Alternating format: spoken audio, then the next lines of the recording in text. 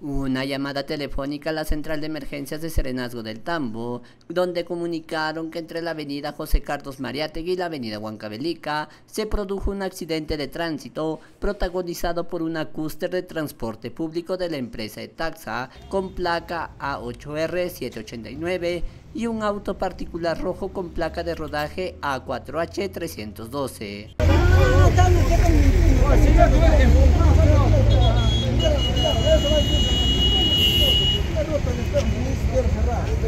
Allá, son locos, allá,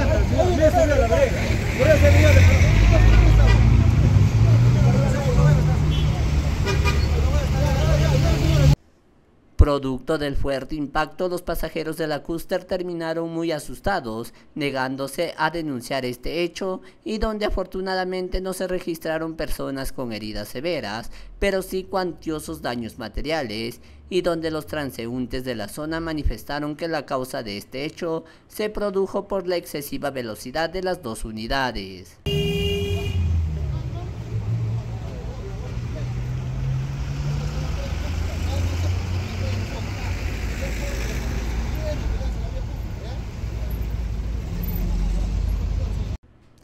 Los conductores fueron identificados como Carlos Bravo, de 35 años de edad, y Juan Rojas, de 31 años de edad, los que terminaron muy asustados, por lo que los serenos y policías del patrullaje integrado trasladaron ambas partes hacia la comisaría del Tambo.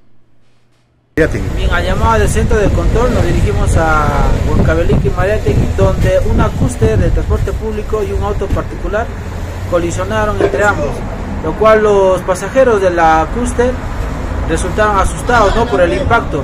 Se les indicó para el apoyo hacia el hospital, indicaron que no, que solamente fue un susto. Se derivó a ambas unidades hacia la comisaría del sector para su investigación. ¿no?